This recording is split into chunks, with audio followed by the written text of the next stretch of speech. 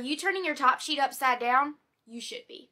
A lot of people think that I learned most of my hosting and decorating tips working at Southern Living. And while all of us on staff definitely learn a lot working here, the truth is most of our best knowledge comes from the compiled total of all of our experiences growing up in Southern households. This tip came from one of our editor's moms. Make your bed with the top sheet pattern facing down so that when you fold down the bed, the colorful pattern faces up. It looks more put together and more inviting to any house guest.